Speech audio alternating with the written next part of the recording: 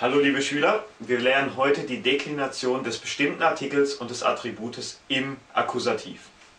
Also der Akkusativ ist heute unser Thema. Der bestimmte Artikel im Akkusativ lautet maskulin den, feminin die, neutrum das im Singular und die im Plural. Merken Sie sich bitte, nur der, As der Akkusativ maskulin hat dieses N, feminin, neutrum und plural sind gleich. Beispiele. Der Wagen maskulin. Ich kaufe den neuen Wagen.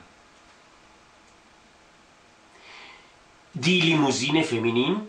Er kauft die schöne Limousine für 7000 Euro. Das Cabriolet Neutrum. Du verkaufst das alte Cabriolet für 5000 Euro. Ja, ist ein günstiger Preis, nicht wahr? So, Plural, die Autos. Die Leute kaufen die neuen Modelle der Firma Ryder. Ja, eine ganz neue Autofirma. So, jetzt zu unserer Tabelle. Wir haben in der Tabelle wieder den bestimmten Artikel, die Adjektivendung beim Attribut und das Substantiv im Akkusativ.